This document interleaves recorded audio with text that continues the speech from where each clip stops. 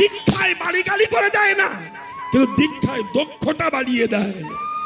মানুষ হয়ে কি করণীয়, সেটা দীক্ষা মন্ত্রে শিখিয়ে দেয়।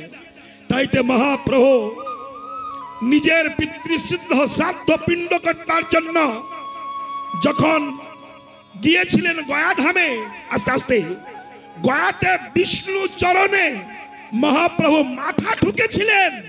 হে প্রভু, এই সেই বিষ্ণু চরণ যেখানে গয়ার বুকে লাথি মেরেছিল গয়াসুরের বুকে, সেখানে বিষ্ণুর চরণ আছে। সেই চরণটা ধরে নিমায় হাও হাও করে কাঁদছিলেন। আর চরণে সেই পাথরে মাথা ঠুকে ঠুকে মাথা দিয়ে রক্ত ঝরঝর করে ঝরছিল। এমন সময় হালি শহরের একজন পরম বৈষ্ণব, মাধবেন্দ্রপুরীর শিষ্য, যার নাম ছিল ঈশ্বরপুরী। এই ঈশ্বরপুরী নিমায়ের আকুল কণ্ঠের প্রতিধ্বনি শুনেছিলেন। ওই চরণটা বুকে ধরে নিমাই যখন কাঁদছেন, হে ভগবান, হে বিষ্ণু, তুমি দেখা দাও। আমি নিমাই, আমি কলিকালে এসেছি। এই কলির মানুষকে আমি হরি বলাতে পারলাম না। এরা হলি বলতে চাইলো না। তুমি কৃপা করে আমাকে এই শক্তি দাও। আমি যেন কলির মানুষকে হরি বলাতে পারি। এই আত্মনাদের ক্রন্দনের ধ্বনি যখন চলে গিয়েছিল ঈশ্বরপুরীর কর্ণে, ঈশ্বরপুরী ভাবলেন, আস্তে আস্তে আস্তে আস্তে, কে একজন ভক্ত এসে হা কৃষ্ণ গোবিন্দ বলে কাঁদছে। দেখি তো, ঈশ্বরপুরী এসে দেখলেন, ষোলো সতেরো বছর বয়স আজন লম্বিত ভৌজ তপ্ত কাঞ্চনের মতো দেহ অসামঞ্জস্যরূপ মাধুর্য ঈশ্বরপুরী দূর থেকে দেখছেন ওইটুকু বাচ্চা ছেলে বিষ্ণু পদে পড়ে মাথাটা ঠুকে ঠুকে হরে কৃষ্ণ হরে কৃষ্ণ কৃষ্ণ কৃষ্ণ হরে হরে হরে রাম হরে রাম রাম রাম হরে হরে হরি বল হরি বল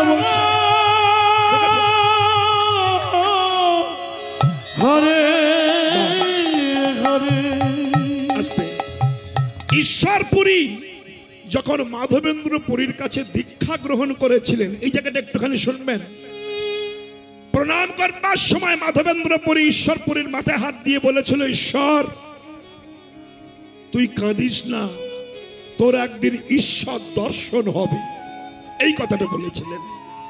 তোর একদিন ঈশ্বর দর্শন হবে। ঈশ্বরপুরী সেই দিন থেকে অপেক্ষায় ছিল।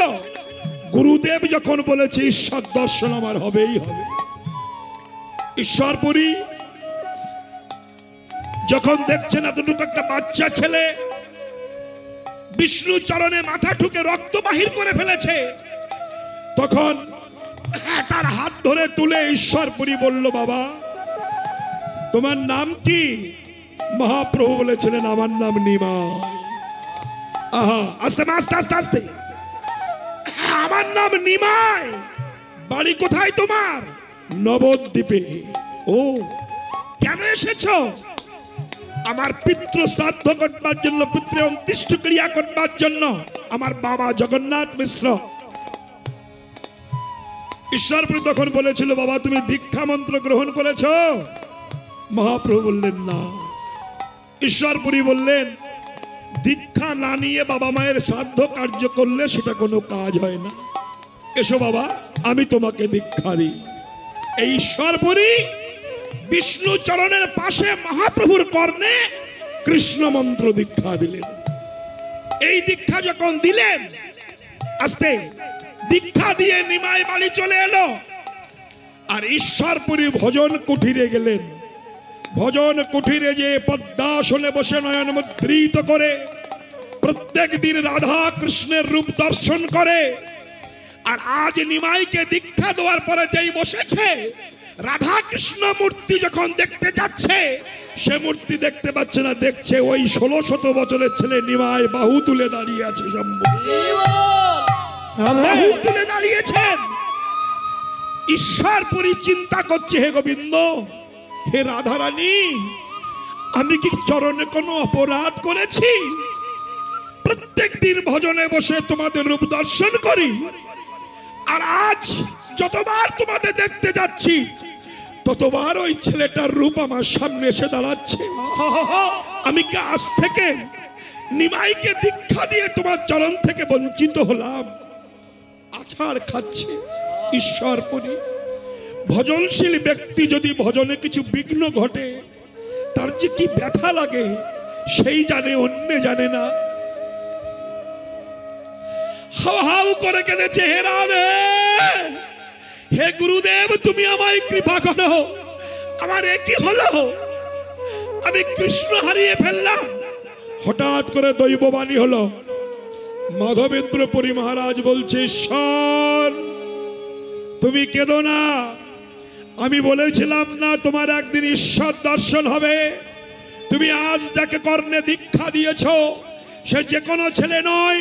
তিনি হলেন ভগবান ব্রজেন্দ্র নন্দন কৃষ্ণ। গৌর হয়ে নবদ্বীপ এসেছেন। এই কলিকালের ভগবান আমার গৌরাঙ্গ সুন্দর নিমা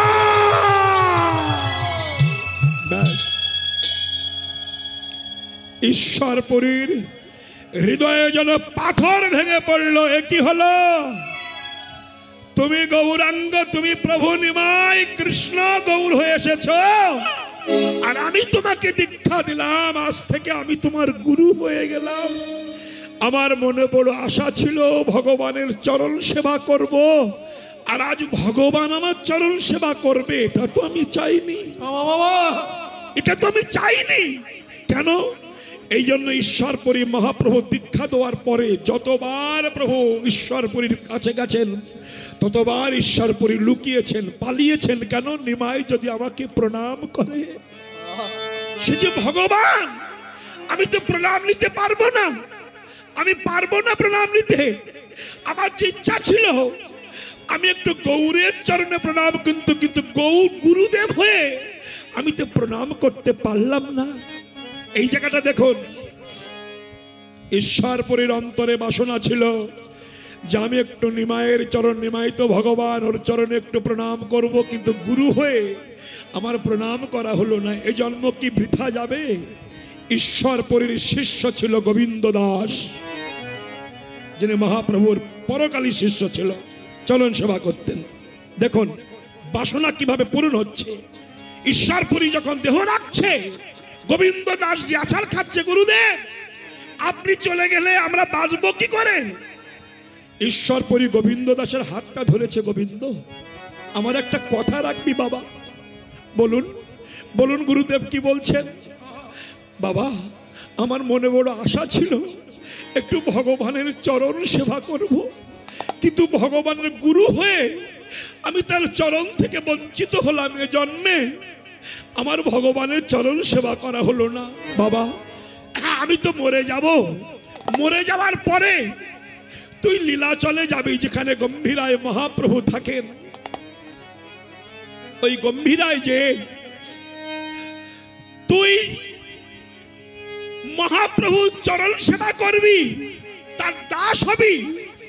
তুই যখন আমার শিষ্য হয়ে প্রভুর চরণে হাত দিয়ে সেবা করবি। আমি অলক্ষে বসে তোর হাতে হাত চাপিয়ে প্রভুর চরণটা একটু সেবা করে না।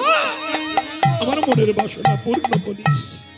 দেখুন, গোবিন্দ দাস যে বলেছিল, প্রভু, মহাপ্রভু গোবিন্দকে দাদা বলে ডাকতেন। প্রভু, গুরুদেব দেহ রেখেছেন। মহাপ্রভু গুরু শূন্য হয়ে সে কি আত্মনাথ? বর্ণনা অতীত আত্মনাথ? গোবিন্দ বলেছিল, গুরুদেব একটা আজ্ঞা দিয়েছে। কি? না, আজ থেকে তোমার চরণ সেবা দাস করে রাখতে হবে আমার মহাপ্রভু বলল, তুমি আমার গুরু দাদা, বড় ভাই, গুরু ভাই। আমি তো পারি না তুমি আমার চরণ সেবা করো। কিন্তু গুরুদেব যে বলেছে, তার আজ্ঞা তো পালন করতে হবে। তাই গোবিন্দ দাস সেদিন থেকে মহাপ্রভু চরণ সেবা করতেন। এই সেবার নিদর্শনটা দেখুন, একটু খেয়াল করুন। প্রত্যেক দিন মহাপ্রভু প্রসাদ পেয়ে শুয়ে থাকতেন, গোবিন্দ দাস চরণ সেবা করতেন। আজ মহাপ্রভু গোবিন্দকে পরীক্ষা করছেন। দেখি গোবিন্দ কি করে। মহাপ্রভু প্রসাদ পেয়ে দরজায় আর দিয়ে শুয়ে পড়েছে। গোবিন্দ কীভাবে ঢোকে দেখি। গোবিন্দ বলছে, প্রভু, তুমি সেবা করে শয়ন করেছ? আমাকে তো চলন সেবা করতে দাও সরো প্রভু বলছে, আমি সরতে পারছি না, আমার অনেক খাওয়া হয়েছে, তুমি যা পারো করো। গোবিন্দ দাস মহাপ্রভুর দেহের উপরে নিজের বহির্বাস ফেলে দিয়ে মহাপ্রভুকে ডিঙিয়ে মানে পা দিয়ে ডিঙিয়ে ভিতরে যে চলন সেবা করছে। দেখুন এই চলন সেবা করতে করতে চারটে বেজে গেছে। মহাপ্রভু বলছে, গোবিন্দ, এই যে, ও গোবিন্দ, তুমি সেবা করেছ? গোবিন্দ বলছে, না প্রভু, আমি সেবা করিনি। কেন? এত বেলা হলো সেবা করনি কেন? গোবিন্দ বলছে, প্রভু, তুমি যে দরজা আর হয়ে শুয়ে আছো, আমি যাব কি করে? মহাপ্রভু এসে বলছে, তোমার মতো পাগল তো কেউ নাই। তুমি ঢুকলে কি করে? বলে, তোমার দেহের উপরে কাপড় দিয়ে ডিঙিয়ে এসেছি। সেইভাবে গেলে না কেন? গোবিন্দ বলছে, প্রভু, তুমি আমাকে পাগল ভেবো না। তোমার সেবা করবার জন্য আমি তোমাকে হাজার বার ডিঙিয়ে আসতে পারি। কিন্তু আমার সেবার জন্য আমি তোমাকে ডিঙিয়ে যেতে পারি না। কে? তোমার সেবার জন্য যদি আমার নরকগামী হতে হয় আমি তাই হব কিন্তু আমার সেবার জন্য আমি স্বর্গে যেতেও রাজি নই। একেই বলে ভজন। তাদের সবার হলো হ্যাঁ, নামে রুচি হলো না শুধু আমার। তাই গোবিন্দ দাস এই কথাটা বলেছিলেন তারই গান ভজহু রে মন। শ্রীনন্দের নন্দন, অভয় চরণা রবীন্দ্র এই গোবিন্দ দাস ছিল রামচন্দ্র কবিরাজের ভাই গোবিন্দ দাস গোবিন্দ কবিরাজ। ইনি ছিলেন কালী ভক্ত, যাই হোক মা। তাই হ্যাঁ বৈষ্ণব হয়ে এই গানটি গেয়েছিলেন। ভজহরে মন, শ্রীনন্দের নন্দন। অভয় চরণার বিন্দরে ভজ মন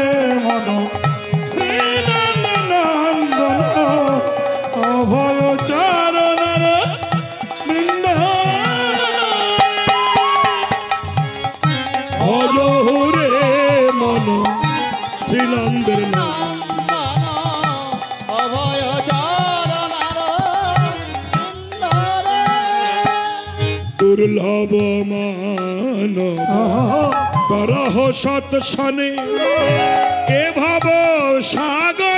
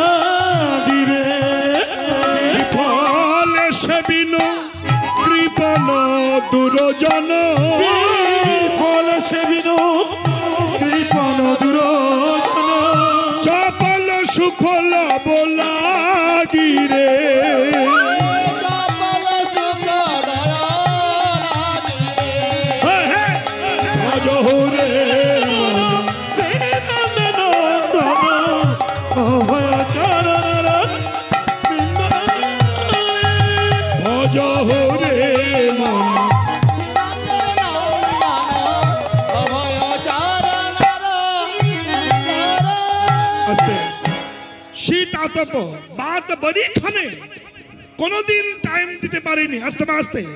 সর্বক্ষণ ব্যস্ত আছি সংসারের জন্য। আমার ছেলে কি খাবে মেয়ে কি খাবে জামাই কি খাবে বাড়ির কুকুর কি খাবে? এই চিন্তায় নিজের চিন্তা করবার সময় হলো না। আমার কি হবে? এই যে বাবা আমার পরিণতি কি হবে? আমার দায়িত্ব কে নেবে? আছে কেউ? একদিন একটু হালকাতা করে দেখুন তো যাদের জন্য সারা জীবন খাওয়ালেন, ওদের হালকাতা চিঠি ধরিয়ে দেন। কে কত দেয় দেখুন? দেবে কাঁচকলা। এরা শুধু নিতে চায়, দিতে চায় না, দেয় শুধু আঘাত, ব্যথা, প্রতিবাদ, যন্ত্রণা।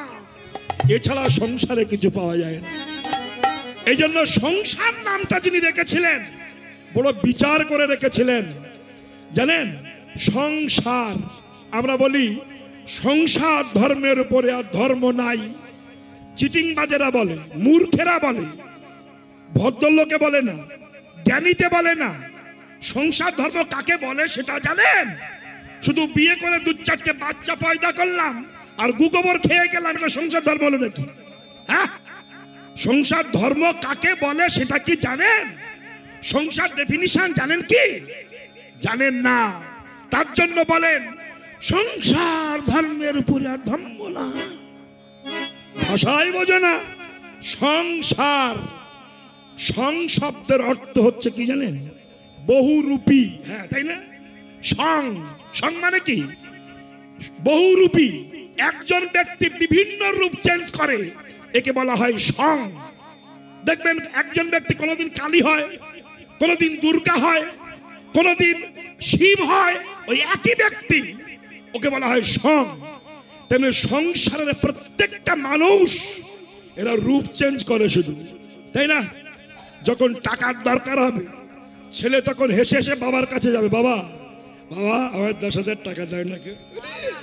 সাওয়ার কায়দা কি? ডিজাইন কি? মনে হয় সাবাল আমার বাপ ছাড়া কিছু বোঝে না। সঙ্গে সঙ্গে বাবা বলুক "ওসব টাকা টাকা নাই, পরে হবে। হুম হুম, জানি জানি। বাবা হয়েছে। এই সেন্স আগে ছিল এক রূপ এখন এক রূপ হয়ে গেছে। বউ যদি বলে জামদানি শাড়ি লাগবে স্বামীর কাছে তা ডাকে বলে একটা কাজে থাকে না ডিজাইন আছে। ও গো শুনেছে গো? শোনা। আরে বাবা। শুনু উরি বাবা শুনু উরি মধুর ভাষা। তুমি আমার প্রিয় তুমি আমার হাড় তুমি আমার কলজে তুমি আমার ছেড়াদ্দ সব। স্বামী বুঝে নিয়েছে তার মানে মাল আমার এবার দিতে হবে কিছু। এত কায়দা করে বলার কায়দা? আরে তুমি কি বলছো বলো না? তুমি কথা দাও, কথা রাখবে। বলল, বলো না, আমাকে একটা জামদানি শাড়ি দেবে। পয়সা টয়সা নেই, পরের বছর হবে। তা তো জানি। নিজের মার বেলায় হয়, বোনের বেলা হয়, আমার হবে না। একেবারে মুহূর্তের মধ্যে রূপ চেঞ্জ একে বলা হয় সং। বহুরূপী। এই জন্য এই সং একে আস্তে আস্তে আস্তে আস্তে। এই সংসার শুধু চায় দাও। আর না দিতে পারলেই আর আপনাকে ভালোবাসবে না। এই জন্য কামরুল কামাখ্যা কামাখ্যা মন্দিরে দেখবেন ওখানে ওই তান্ত্রিক সাধকরা তন্ত্র সাধনা করে। ওরা মরা বাঁচায় সব সব। তাহলে সব সব। ওরা মন্ত্রপুত করে হ্যাঁ, মরা বাঁচিয়ে তোলে। আর এই মরা বাঁচানোর সময় যে মন্ত্র দেয়, আর মরা যখন এরকম শুয়ে থাকে, তো মরা হা করে ওঠে। ওঠে যখন, আর ওই হা করলে কিছু ঢুকিয়ে দিতে হয়। তন্ত্র সাধক, ওই মরার খেতে দেওয়ার জন্য ডাইনের পায়ে একটা মেসলায় কিছু ছোলা ভিজিয়ে রাখে, আর একটা মাসায় চুল্লু রেখে দেয়। মরা যখন হা করে ওঠে, এক গিলাস চুল্লু দিয়ে খানিকটা ছোলা ঢুকিয়ে দেয়। ও মাল চপ চপ চপ চপ করে খায়। আবার ফুরিয়ে যায়, আবার হা করে ওঠে, আবার ঢুকিয়ে দেয়। আবার চপ চপ করে খায়, আবার হা করে ওঠে। তন্ত্রক সাধক জানে যে ছোলা, চুল্ল ফুরোবার আগে, শেষ হওয়ার আগে আমার কার্য সিদ্ধি করতে হবে। নইলে যদি ওঠে, মাল ফুরিয়ে যায়, আমারে চিবিয়ে খাবে। তেমনি সংসারে প্রত্যেকটা মানুষ শুধু হা করে কিছু টাকা ঢুকিয়ে দেন মাল চুপ করতে থাকবে আবার ফুরিয়ে যাবে আ হা করে আবার দাও আবার। নইলে যদি মাল ফুরিয়ে যায় তোমার চিবিয়ে খাবে। রাধে রাধে। এ হলো সংসার। আর এই সংসারের জন্য যেটা অসার সেটাকে ভেবেছি সংসার সংকে সার ভেবেছি কিন্তু পরমেশ্বরকে আমরা অসার ভেবে নিয়েছি। যিনি শান্তি দেন, যিনি শান্তি যোগান, যিনি ভালোবাসা মায়ের গর্ভের থেকে দিয়েছেন, বেরিয়ে এসে পৃথিবীতে কি খেয়ে বেঁচে থাকব তার জন্য মায়ের স্তনে দুগ্ধ পাঠিয়ে দিয়েছে। আমার ভক্ত কি খাবে? যে আমার পেটের থেকে চিন্তা করতে করতে মাতৃস্থলে চিন্তা করেছে। আমি কি করে নিঃশ্বাস নেব? তার জন্য নাক দিয়েছে, কান দিয়েছে, হাত দিয়েছে, পা দিয়েছে। বলুন দেখিনি। এগুলো একটু ভালো করে ভাবুন তো আপনারা। এই যে চোখটা দিয়েছে চোখের ভুরু যদি না দিত কত নোংরা ঢুকতো ডিজাইন নষ্ট হয়ে যেত। ভুরু দিয়েছে তাও শালা নকল ভুরু লাগাচ্ছে। নকল ভুরু কিনতে পাওয়া যাচ্ছে। একটু ঘন হবে চপচপ করে তাকাবে ডিজাইন বাড়বে। আর লোকে আমার দেখবে হ্যাঁ, এই। এখানে আবার এই ভুরু দিয়েছে। ওমা ওনার আবার চেচে নিয়ে ওর মধ্যে কালো রং লাগাচ্ছে। কেন? আমাকে ডিজাইন ভালো করতে হবে। তা যদি ভগবান ভুরু না দিত তুমি রং লাগাতে কোন জায়গায়? যদি ঠোঁট না দিত প্লাস্টিক পরতে কোন জায়গায়? লিপস্টিক নখ যদি না দিত নেল পালিশ পড়তে কোথায়? কত বড় বেইমান আমরা দেখেছেন। হ্যাঁ তার ভাড়া ঘরে বাস করি তার দুয়া জিনিস নিয়ে আমরা খাই আর তার সঙ্গে বেইমানি করি। আমরা বলি ভগবান নাই। ভগবান যদি না থাকতো, এত সুন্দর ডিজাইনের চেহারাটা কোথায় পেতে? হ্যাঁ এই যে মায়েরা, বলো, একটু ভেবে দেখো। দেহের মধ্যে সবাই একদিন কম্পিটিশন করছে, শোনো। আত্মার সঙ্গে ঝগড়া বেঁধেছে চোখের। চোখ বলছে, আত্মা, আমি না থাকলে তোমার কোনো মূল্য নাই। আত্মা বলতে চলে যাও, দেখি কি হয়। চোখ দৃষ্টি শক্তি পনেরো দিন চলে গেছে। পনেরো দিন পরে ফিরে এসেছে। কেমন ছিলে আত্মা বলো? আত্মা বলছে ভালোই ছিলাম। ফেসবুক দেখতাম না সিরিয়াল দেখতাম না শুধু মনে মনে কৃষ্ণ কৃষ্ণ করতাম। বাহ। এইবার বলছে হ্যাঁ, শ্রুতি শক্তি মানে কান। ও বলছে আমি চলে যাই। পনেরো দিন পরে ফিরে এসে বলছে কেমন ছিলে বলো? বলছে আর কানে বল্টু লাগাতাম না। ওই মোবাইলের মধ্যে ঢুকিয়ে দিয়ে বল্টু দেয়। ও আর দিতাম না। কানে কোনো আজে বাজে কথা শুনতে পারতাম না।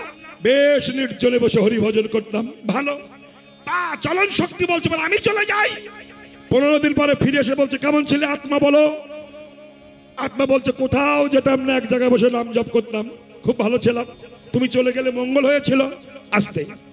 আস্তে আস্তে আস্তে। এইবার শুনুন ভাইরা এইবার কি হলো জানেন? আত্মা বলছে, সবাই তো গেলে, এবার আমি যাই।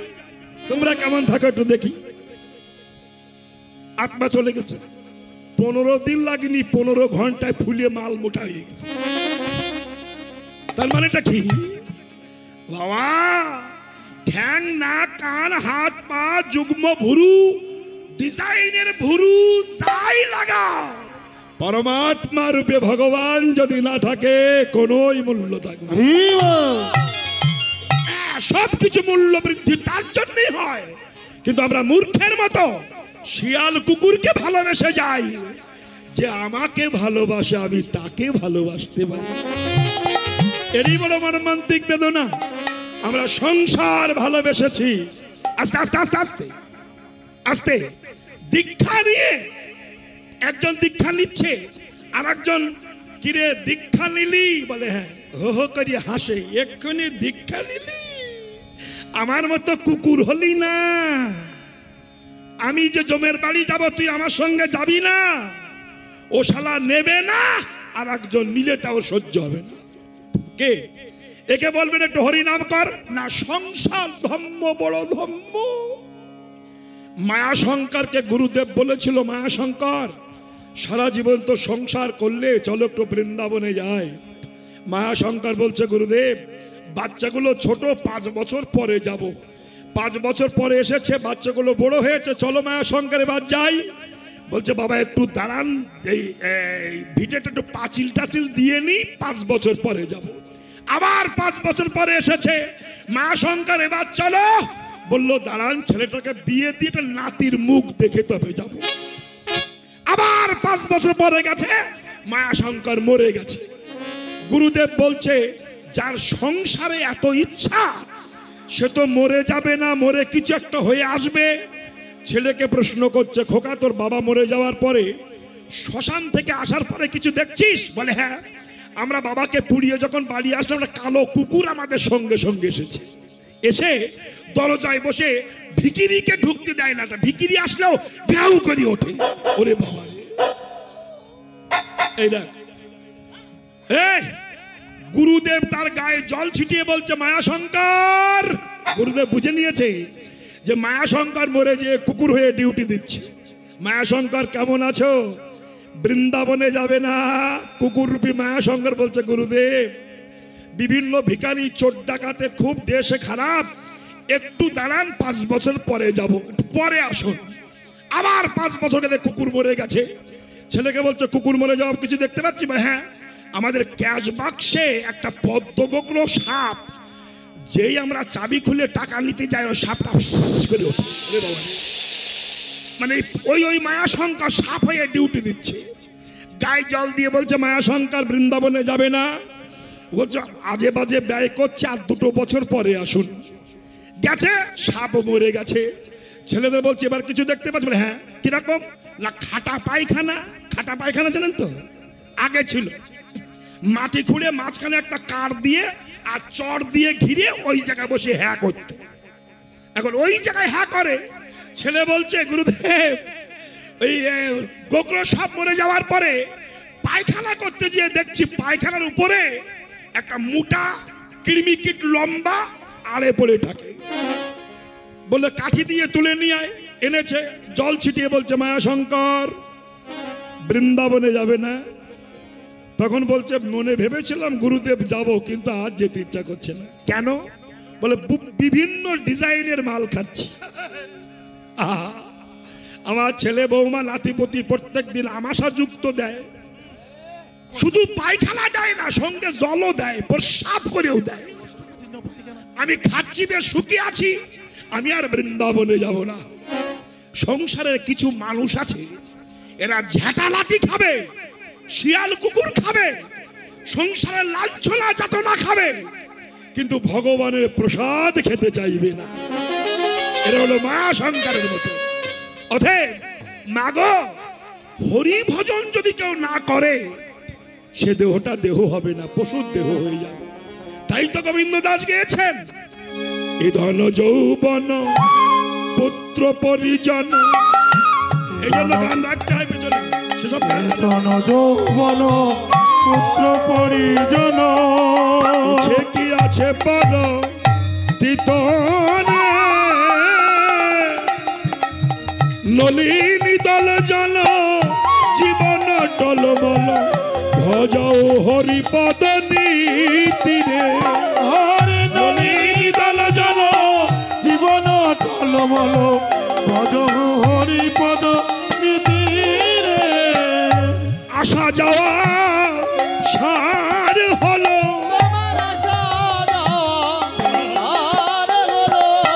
কৃষ্ণ ভজন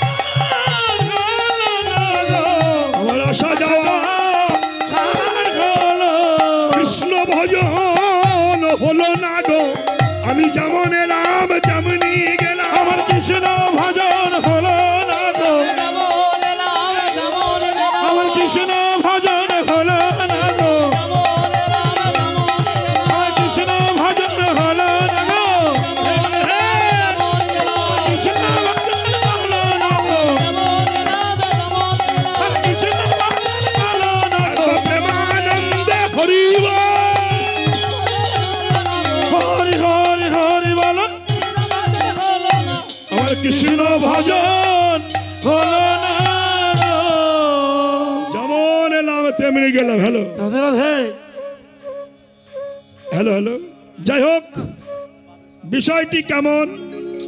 হরে কৃষ্ণ। জলিতায় মায়েরা হ্যাঁ তাই মহাপ্রভু, নিজে আচরিয়া ধর্ম জীবের শেখান। আস্তে, লীলাচল মাঝে গোরা উদ্যান ভিতরে, পুরাব ভাবেতে গোরা সহচর। হরি বলে নাচে গোরা, আহা, হরি বলে হরি বলে নাচে গড়া সেভাবে হরি বলে নাচে hello hello hello hello. Hari এত সুন্দর আসলে মাইকটা করছিস। হরি বলে নাচে।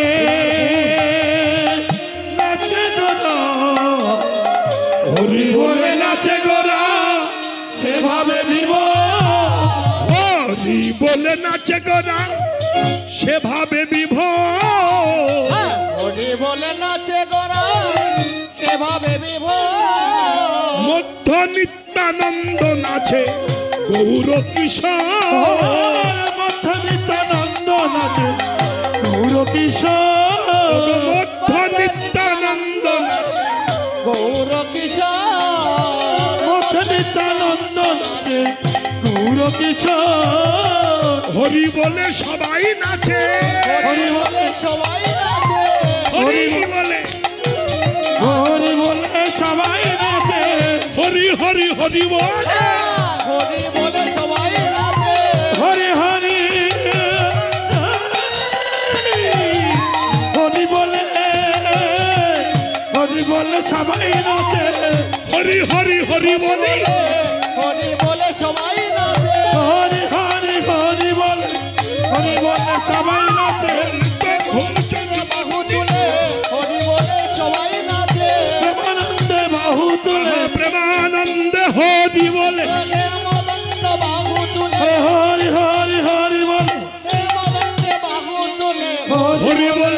নাচে হরি বলে।